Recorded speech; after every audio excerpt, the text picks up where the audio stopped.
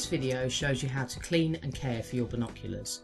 Many, but not all binoculars are supplied with dust caps and rain guards fitted to the eyepieces and objective lenses. Exceptions are reverse Porro-Prism compact binoculars like this one here, where it is impractical to fit caps over the objective lenses. It is worthwhile noting that dust caps were originally fitted to protect equipment in bulk transit and are not essential if you have a case to store them in.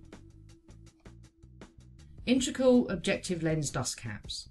Caps like these are now widely available for many sizes of binocular and if you like the idea of always knowing where your caps are and don't mind them dangling down whilst you're using your binocular then they might be for you. Rain guards. These are the most common in-use eyepiece protector and more often than not are designed with lugs that allow you to fit them to your lanyard.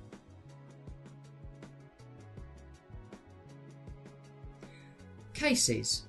Binoculars are supplied with a case of some sort, either manufactured from leather, vinyl or neoprene and we recommend they are stored in them as they protect the instruments from everyday knocks and bumps whilst being transported in a rucksack or in a vehicle.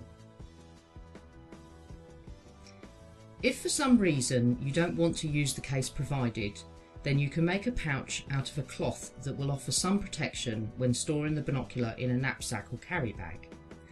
This one has been made simply by stitching up three sides of a microfiber cleaning cloth and is really light and washable too.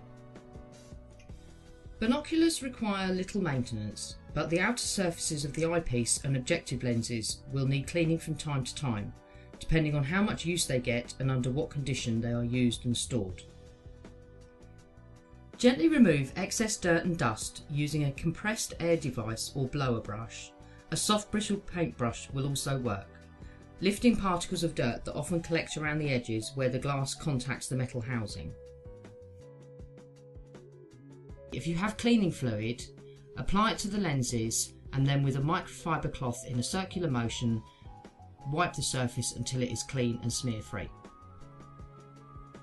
If you don't have any cleaning fluid, breathe on the glass surface and then wipe with an optical cleaning cloth, preferably a microfiber cloth like this one, in a circular motion until the surface is clean.